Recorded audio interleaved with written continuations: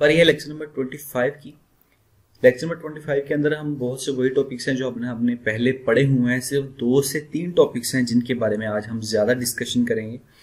एक है default function arguments second है इनलाइन फ़ंक्शंस एंड थर्ड है फ़ंक्शन ओवरलोडिंग तो डिफ़ॉल्ट फ़ंक्शन आर्गूमेंट्स क्या होते हैं? जब हम किसी फ़ंक्शन को किसी जगह पे कॉल करवाते हैं और कॉल करवाने के बाद हम उसमें कोई नई वैल्यू नहीं देते, बस उसे कॉल करते हैं और उसकी डाटा जो भी आउटपुट उसका रिटर्न हो रहा होता है, वो हमें वहाँ पे हो जाता है शो तो उसे हम कहते हैं डिफ़ॉल्ट फ़ंक्शन आर्गुमेंट अब इसके अंदर ये सबसे पहला टॉपिक जो हमें एक्चुअली नज़र आ रहा है स्ट्रक्चर प्रोग्रामिंग इसके बारे में पहले ही बता चुका हूँ कि स्ट्रक्चर प्रोग्रामिंग क्या होती है, कैसे होती है. सब कुछ बताया हुआ है. इसमें सिर्फ़ थ्योरी है, ज़्यादा कुछ है नहीं है. उसके बाद आता है default function argument default function argument कुछ नहीं है कि हमने एक फ़ंक्शन बनाया किसी रिटर्न डाटा टाइप के नाम से। फ़ंक्शन का नेम है एफ़ और एफ़ के अंदर हमने कुछ वैल्यूज़ दे दी। इंट की जो वैल्यू है उसकी नंबर है वन डबल की जो एक्स की वैल्यू है उसकी वैल्यू है टेन पॉइंट फाइव और फिर क्या हुआ? हमने उस डाटा को शो करवा दिया दैट्स इट यह था डिफ़ॉल्ट की बात कि हमने फ़ंक्शन के अंदर ही कुछ वैल्यूज़ दे दी और उसको हमने किसी तरह से प्रोसेस करवा के शो करवा दिया। हमने खुद से वैल्यू नहीं दी तो ये हो गई डिफ़ॉल्ट कि आप एक बैग लेते हैं बैग के अंदर दो से तीन पॉकेट्स होती हैं जिप लगी होती है तो वो होता है उसका डिफ़ॉल्ट अगर आप खुद से उसके अंदर कुछ एडअप कर लेते हैं तो वो फिर ज़्यादा डिफ़ॉल्ट नहीं रहता। तो ये चीज़ थी इसके अंदर डिफ़ॉल्ट की कि हम फ़ंक्शन बनाते ही वक्त ही उसके अंदर कुछ वैल्यूज़ को पास कर देते हैं, ताकि हम बाद में उन वैल्यूज़ को उसी का, उसी तरह यूज़ कर सकें विदाउट एनी चेंज तो वो होता है default function argument next topic पे हम आते हैं। ये इसकी छोटी सी डिटेल है डिफ़ॉल्ट फ़ंक्शन की, इसके बारे में मैं थोड़ा सा बता देता हूँ। इसके अंदर हमने ये एक फ़ंक्शन बनाया जिसके अंदर हमने कुछ वैल्यूज़ दे दी। वैल्यूज़ देने के बाद हमने क्या किया कि मेन में जाके उसको एज अ डिफ़ॉल्ट कॉल कर लिया। तो जो आर्गुमेंट्स हमने दिए थे फ़ंक्शन को डिफाइन करते वक्त फ़ंक्शन डिक्लेयर करते वक्त तो वही वो के वही आर्गुमेंट्स जो है वहाँ पे शो हो गए। नेक्स्ट में हमने क्या किया कि हमने शो के अंदर फाइव लिख दिया। इट मीन के शो वाला ये जो फ़ंक्शन है इसके अंदर जो पहला आर्गुमेंट है, जिसके अंदर लिखा है इंट मतलब जिसकी वैल्यू वन है, वो बन जाएगी फाइव और बाकी रहेगी वैसे की वैसी टू पॉइंट थ्री और फोर नेक्स्ट में क्या किया कि मैंने फ़र्स्ट वैल्यू दे दी सिक्स सेकेंड वैल्यू मैंने दे दी सेवन पॉइंट एट तो फ़र्स्ट वैल्यू जो है वो सिक्स बन जाएगी सेकंड जो है वो सेवन पॉइंट एट बन जाएगी और थर्ड जो लॉन्ग की वैल्यू है, वो फोर ही रहेगी. इसी तरह मैंने एक और आर्गुमेंट बनाया, जिसके अंदर मैंने तीनों आर्गुमेंट्स को चेंज कर दिया. इट मीन के तीनों आर्गुमेंट्स अब डिफ़ॉल्ट नहीं रहे। इसके अंदर फ़र्स्ट था नाइन सेकंड है टेन पॉइंट इलेवन और थर्ड में है ट्वेल्व ये एल जो है वो गलती से लिखा गया है यहाँ पे। तो इसमें क्या होगा कि जब ये वाला आर्गूमेंट रन होगा तो according to our function definition के किस तरह से उसको शो करवाना है तो वो जो है यहाँ पे शो हो जाएगा कि first is equal to one जो कि ये डिफ़ॉल्ट वाला है, जिसके अंदर कुछ वैल्यू नहीं है तो फ़र्स्ट वन है सेकंड टू पॉइंट थ्री है थर्ड फोर है। फ़र्स्ट सेकंड थर्ड हमने डिफाइन किया हुआ यहाँ पे आपको फ़ंक्शंस के बारे में पता होगा। सेकंड में क्या किया था हमने कि हमने फ़र्स्ट वैल्यू चेंज कर दी तो फ़र्स्ट वैल्यू चेंज होगी, बाकी वैसे की वैसे ही। फिर थर्ड में दो चेंज थर्ड वैसे ही, और इसके अंदर हमने सारी वैल्यूज़ को चेंज कर दिया।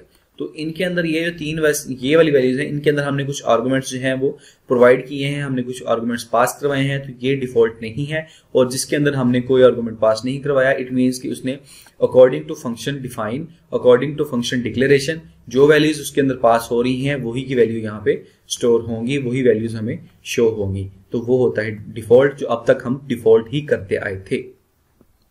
नेक्स्ट आता है प्लेसमेंट ऑफ़ वेरिएबल डिक्लेरेशन कि जब हमने कोई वेरिएबल डिक्लेयर करना होता है तो उसकी हम प्लेसमेंट कैसे करते हैं? और उसका बेस्ट तरीका यह है कि जिस जगह पे हमें वेरिएबल रिक्वायर्ड होता है, उस जगह पे हम जाके अपने वेरिएबल को लिखें। जैसे इसी फ़ंक्शन के रिलेटेड मैंने भी एक प्रोग्राम लिखा था।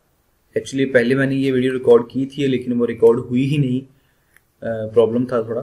तो ये फ़ंक्शन मैंने तब लिखा था। इसमें क्या है कि मैंने एक फ़ंक्शन ये, एक फ़ंक्शन ये लिखा सेकंड फ़ंक्शन ये लिखा। अब नेक्स्ट जब हम आएँगे तो तब ये देखेंगे कि ये दोनों फ़ंक्शन के नाम सेम क्यों हैं। इनको मेंशन कर लेता हूँ मैं। सेकंड जो था, वो है हमारी, इस वक्त जो हमारा मेन टॉपिक था, वो क्या था?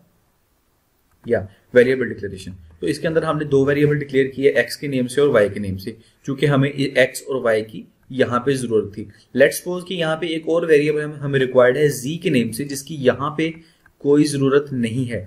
मेन में हम गए, हमने इतनी लाइंस लिखी, ठीक है? इतनी लाइंस लिखने के बाद हमें फील हुआ कि यहाँ पे हमें एक और वेरिएबल चाहिए। तो हम क्या करते हैं कि इंट जी वहाँ पे कर दिया और उसके बाद अपना डाटा लिखना स्टार्ट कर दिया। इसका बेनिफिट ये है कि एक तो हमें बार बार ऊपर आके देखना नहीं पड़ता कि हमारे कौन से वेरिएबल यूज़ हो चुके हैं और कौन से वेरिएबल्स हमारे पास खाली पड़े हैं या अगर हमारे पास वेरिएबल नहीं है तो हम या अगर हम यहाँ पे ऐसे फिर रहे हैं तो यहाँ से स्क्रॉल अप करके ऊपर आएँगे, यहाँ पे आके एडिट करेंगे जी तो उसका निस्बत जो बेस्ट है वो ये है कि जहाँ पे हमें रिक्वायर्ड है, वहाँ पे हम उसको डिक्लेयर कर दें टाइम भी बचता है और प्रोग्राम जो है वो समझ के काबिल भी होता है। तो मैं इसको कर देता हूँ अंडू या तो नेक्स्ट हमारा ये टॉपिक था जी प्लेसमेंट ऑफ़ वेरिएबल्स के वेरिएबल को कहाँ कहाँ डिक्लेयर करना चाहिए। तो बेस्ट तरीका ये है कि जहाँ उसकी ज़रूरत हो, वहाँ जाकर डिक्लेयर करो। जैसे इसके अंदर है कि यहाँ पे फोर लूप चलाई और फोर लूप के अंदर एक वेरिएबल रिक्वायर्ड था उन्होंने वेरिएबल का नाम लिखा है लाइन नंबर तो इन इंट लाइन नंबर के नाम से उस वेरिएबल को डिक्लेयर कर दिया वहाँ पे। फोर लूप चली चलने के बाद हमें एक और वेरिएबल रिक्वायर्ड हुआ टेम्परेरी जिसका नाम रख दिया और int temporary to twenty two कर दिया। अब इसके दो तरीके थे। एक तो ये था कि हम लूप स्टार्ट करने से पहले ही लिखते int line number comma temporary और दूसरा तरीका ये था कि जहाँ जहाँ उसकी ज़रूरत पड़ी वैसे वैसे हम डिक्लेयर करते गए जो कि दी बेस्ट तरीका है। इससे ये होता है कि हम भूलते नहीं है कि कौन से वेरिएबल हमने यूज़ कर लिए हैं या कौन से वेरिएबल्स हमारे पास खाली पड़े हैं या ऊपर जाके हमें दोबारा से डिक्लेयर नहीं करना पड़ता। लेट्स सपोज़ कि आपकी हज़ार लाइंस का जो आपका प्रोग्राम है और आप हजारवीं लाइन पे फिर रहे हो और वहाँ जाके आपको एक वेरिएबल की ज़रूरत पड़ती है तो आप क्या करोगे? या तो आप सबसे ऊपर पहले जाओगे, जाके देखोगे कुछ वेरिएबल पड़े हैं। अगर आपको लगता है कि पता नहीं ये वेरिएबल मैंने यूज़ किया है पहले या नहीं किया पहले, फिर आप उन हज़ार लाइन्स को इंस्पेक्ट करोगे, हज़ार लाइन्स को चेक करोगे कि कहीं मैंने ये वेरिएबल यूज़ तो नहीं किया हुआ पहले से। अगर दोबारा से यूज़ किया तो मेरा प्रोग्राम गलत हो जाएगा। तो फिर मैं हज़ार लाइन्स को चेक करने के बाद जाके अपनी लाइन पे लिखता हूँ। कि मैंने ये तो प्रोग्राम पहले यूज़ किया हुआ है, फिर मैं दोबारा अपने किसी वेरिएबल को अगेन डिक्लेयर करने के लिए ऊपर जाऊँगा, फिर हजारवीं लाइन पे आके अपना प्रोग्राम जो है वो मैं लिखूँगा। तो उससे इन सारे झंझट से बचने का एक ही तरीका है हजारवीं लाइन पे आप फिर रहे हो, वहाँ जाके आपको किसी वेरिएबल की ज़रूरत पड़ी तो हजारवीं लाइन पे लिखो इंट अपना वेरिएबल सेमिकोलन और अपना आगे प्रोग्राम स्टार्ट कर दो। तो ये होती है प्लेसमेंट ऑफ़ वेरिएबल्स नेक्स्ट आता है इनलाइन फ़ंक्शंस के बारे में। इनलाइन फ़ंक्शंस के बारे में थोड़ा सा हमने पहले पढ़ा हुआ है और जहाँ पे हमने मैक्रोज की बात की थी। मैक्रोज के मैंने अंदर आपको बताया था लेक्चर नंबर ट्वेंटी थ्री के अंदर कि मैक्रोज हम यूज़ करते हैं किसी वैल्यू को फिक्स करने के लिए कि जैसे हम हैश डिफाइन यूज़ किया था और हैश डिफाइन के अंदर हमने आगे लिखा था पाई और पाई को हमने वैल्यू दी थी three point one four one five तो उसका क्या था कि पाई नेम का एक वेरिएबल डिक्लेयर हो गया था जिसकी एक फिक्स वैल्यू बन गई three point one four something उसमें मैंने आपको एक और चीज़ एडिशनल बताई थी कि यहाँ पे हम चाहें तो पाई की जगह पे कोई वेरिएबल नेम भी लिख सकते हैं और चाहो तो कोई फ़ंक्शन भी लिख सकते हैं। और जब हम हैश डिफाइन को यूज़ करते हुए कोई फ़ंक्शन लिखते हैं और उसके बाद फिर हम बताते हैं कि इस फ़ंक्शन ने करना क्या है, उसे हम कहते हैं इनलाइन फ़ंक्शन अभी इनलाइन फ़ंक्शन का बेनिफिट क्या है? हम नॉर्मली कोई फ़ंक्शन लिखते हैं तो मेन से पहले हम एक फ़ंक्शन लिखते हैं, उसके बाद हम क्या करते हैं कि मेन में आते हैं। और मेन में आने के बाद अपने आउटपुट्स जो भी हम करने होते हैं, वो करने होते हैं और मेन के बाद हम तीन से चार लाइनों में डिफाइन करते हैं कि हमारे फ़ंक्शन ने करना क्या है। इसमें क्या है कि जस्ट हैश डिफाइन लिखो मेन से पहले, अपने फ़ंक्शन का नेम लिखो और उसी के आगे लिख दो कि फ़ंक्शन ने करना क्या है। तो तीन चार लाइन का प्रोसेस जो है, ये नॉर्मली तीन चार लाइन का प्रोसेस पाँच छह लाइन का प्रोसेस मैक्सिमम बहुत हो सकती है। तो उन लाइन का प्रोसेस जो आपको एक ही लाइन के अंदर कवर हो गया। अब आपकी ये फ़ंक्शन है, उसका मकसद है स्केयर करना। तो square means X multiply X दो नंबर को आपस में मल्टीप्लाई करना, यानी कि उसका स्केयर लेना तो वो एक ही लाइन में लिख दो भाई, इसने ये करना है। एक आप और फ़ंक्शन बनाते हो एडिशन के नेम से, उसने क्या करना है कि दो या दो से ज़्यादा वैल्यूज़ को ऐड करना तो क्या करो हैश डिफाइन ऐड उसके बाद कॉमल ब्रैकेट का ब्रैकेट के अंदर जिन जिन वेरिएबल्स को यूज़ करना है ऐड करने के लिए उनको लिखते जाओ। जैसे I comma J comma K comma L comma M N O P comma लगाते जाओ और अपने वेरिएबल्स के नाम लिखते जाओ, चाहे वो छब्बीस के छब्बीस हो जाए जितने भी कॉम्बिनेशन हम बना सकते हैं। लिख दो एक ही लाइन के अंदर और उसके बाद कहो कि इन्होंने करना क्या है? इन्होंने आपस में ऐड करना है खुद को।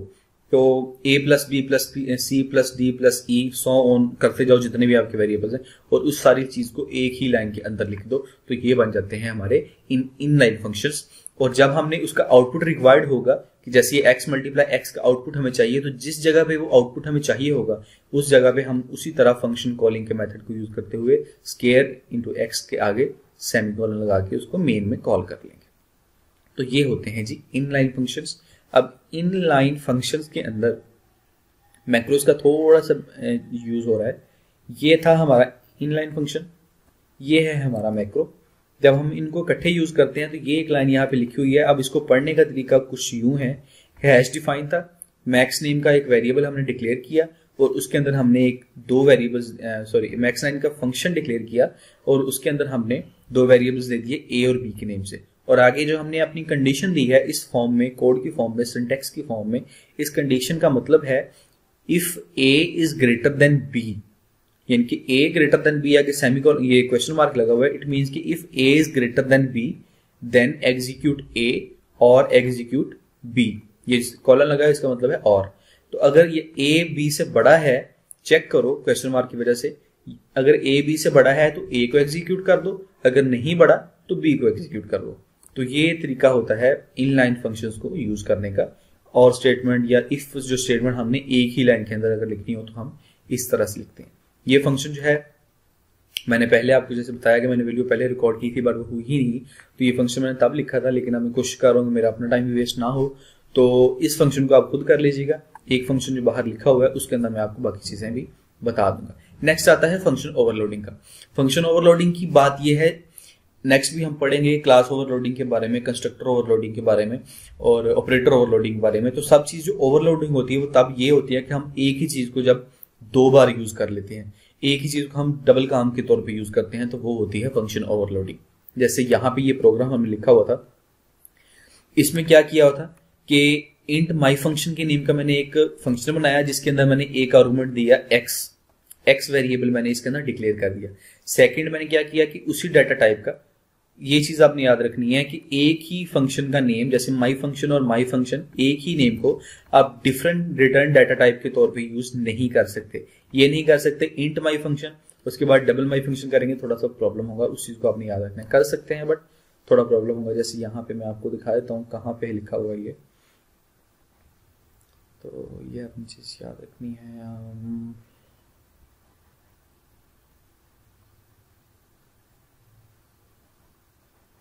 ये चीज़। जब आपने यहाँ पे इस तरह से डिफरेंस करना है ना तो उसके अंदर ये देखें कि आपने अंदर वाले जो इनपुट्स हैं, उनको भी चेंज करना है। आप ये नहीं कर सकते इंट स्केयर इंट आई और यहाँ पे ये नहीं कर सकते डबल स्केयर डबल आई नहीं कर सकते। आपको ये वाला वेरिएबल जो है, वो चेंज करना पड़ेगा। यही चीज़ मैं यहाँ पे बता रहा था कि आप इस तरह से इकट्ठा अगर यूज़ करना चाहिए, ये नहीं कर सकते कि int my function int X और double my function int double X ऐसे नहीं कर सकते। आपको फिर अगर चेंज करना है तो वेरिएबल्स भी चेंज करने पड़ेंगे। सो so, फ़िलहाल हम बात करते हैं फ़ंक्शन ओवरलोडिंग की। तो इसमें क्या है कि इंटीजर डाटा टाइप हमने रिटर्न टाइप रखनी है अपने फ़ंक्शन का नेम लिखना है। और इस फ़ंक्शन ने करना क्या है जी कि एक्स का एक वेरिएबल है वो स्टोर करवाना है या उस पर प्रोसेस करना है। नेक्स्ट हमने क्या किया कि उसी डाटा टाइप के अंदर उसी फ़ंक्शन को दोबारा लिखा और उसके अंदर वो पहले वाला एक्स भी दिया। ये भी चीज़ याद रखनी है कि अगर सेम है तो पहले वाला एक्स भी दिया अगर डाटा टाइप सेम है सब कुछ। तो पहले वाला एक्स भी दिया और उसके बाद उसके अंदर वाई मतलब एक एडिशनल हमने एक और वेरिएबल जो है वो डिक्लेयर कर दिया। तो ये चीज़ बन जाती है फ़ंक्शन ओवरलोडिंग कि एक ही फ़ंक्शन को दो बार लिख लेना या दो बार यूज़ करना इकट्ठा एक ही प्रोग्राम के अंदर तो उसे हम कहते हैं फ़ंक्शन ओवरलोडिंग अब ये फंक्शनल ओवरलोडिंग वर्क कैसे करती है? इसमें बस और कुछ नहीं है, इसमें कुछ स्पेशल नहीं है कि ये ऐसे वर्क करती है या इस तरह होता है, ऐसा कुछ नहीं है बस। बस एक ही फ़ंक्शन को हमने दो बार नाम लिख दिया, बस। सिंपल है बाकी। बाकी में, हम मेन में आए मेन में आने के बाद क्या किया कि एक्स और वाई जो हमने दो वेरिएबल्स यूज़ किए थे, उनको हमने यहाँ मेन के अंदर जो है डिक्लेयर कर दिया। उसके बाद क्या किया कि मैं चाहता हूँ कि माई फ़ंक्शन एक्स की जो वैल्यू है, मुझे वो मिल जाए और माई फ़ंक्शन एक्स और वाई की जो वैल्यू है मतलब ये जो मेरा सेकंड वाला फ़ंक्शन है, उसकी वैल्यू मुझे यहाँ पे सी आउट हो जाए शो हो जाए, बस, और कुछ नहीं चाहिए। अब वो होंगी कैसे? हम मेन के बाद अपना डिफाइन करेंगे कि हमारे इस फ़ंक्शन ने और इस फ़ंक्शन ने करना क्या है। तो पहले इस फ़ंक्शन का नेम लिखो int my function int x और बता दो कि उसने करना क्या है। उसके बाद हम लिखो int my function int x और इंट वाई और बता दो कि उसने क्या करना है।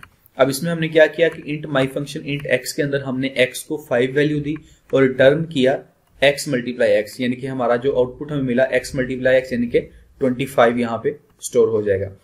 ये जब खत्म हुआ यहाँ पे, उसके बाद हमने एक फिर अपना नया फ़ंक्शन का नाम लिखा और लिखने के बाद क्या किया? Int my function int x और इंट वाई और उसमें हमने क्या किया कि x को हमने फाइव वैल्यू दे दी अगेन और y को हमने वैल्यू दे दी थ्री और रिटर्न हमने क्या करवाया? x प्लस वाई इनके पाँच और तीन आठ हमें यहाँ पे रिटर्न कर दो। तो हमें जो आउटपुट मिलेगा वो मिलेगा ट्वेंटी फाइव उसके बाद यहाँ इसकी वजह से दो लाइन्स की होगी स्पेस और उसके बाद हमें मिलेगा एट तो अब चले हम इसको रन करते हैं। कंपाइल मैंने पहले ही किया हुआ था। तो ये हमें मिल गया है आउटपुट 25 और 8 तो एक ही प्रोग्राम के अंदर एक ही नाम के दो बार हमने फ़ंक्शन को यूज़ करके डबल इनपुट जो है दे के डबल आउटपुट हासिल कर लिया। तो यहाँ पे होता है आई थिंक फ़ंक्शन ओवरलोडिंग का मैंने आपको बता दिया एग्ज़ाम्पल मैंने आपको समझा दी। तो यहाँ होता है हमारा lecture number twenty five complete take care Allah